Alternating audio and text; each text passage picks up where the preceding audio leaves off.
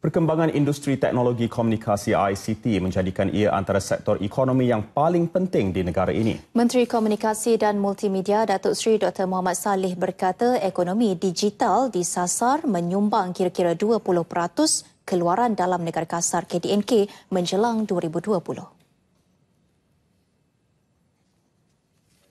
Industri ICT katanya menjadi tumpuan kepada usaha mengembangkan ekonomi digital global dan telah diletakkan sebagai keutamaan dalam bajet 2017.